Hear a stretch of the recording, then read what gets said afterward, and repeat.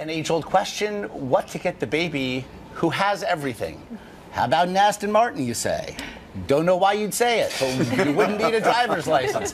You're looking right now at the Silver Cross Surf Aston Martin Edition stroller. It's uh, tricked out with, among other things, and what baby doesn't need this? Italian leather and an air ride suspension.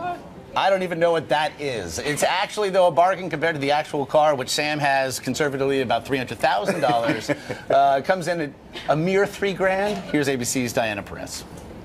It's the perfect ride for Bond. Baby Bond, that is. The luxury car maker Aston Martin is gearing up to give newborns a taste of the 007 lifestyle with this exclusive stroller.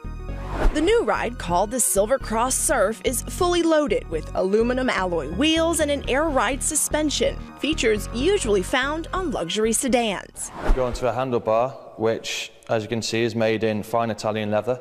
It's the same leather which is used on the Aston Martin steering wheel. Parents are willing to pay top dollar for their stroller so they know they're getting the best stroll for their baby. Aston Martin and other brands appear to be cashing in on a recent celebrity baby boom.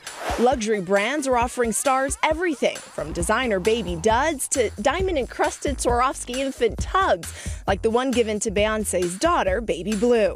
As for Aston Martin, it says it'll only make 800 of those high roller strollers. The price, a cool $3,000. This is outrageous. There's just no reason to have a stroller that costs that much money. Still, Aston Martin is hoping some moms will think this Bond esque ride is worth the price to keep their napping 007s from being shaken or stirred. For Good Morning America, Diana Perez, ABC News, New York.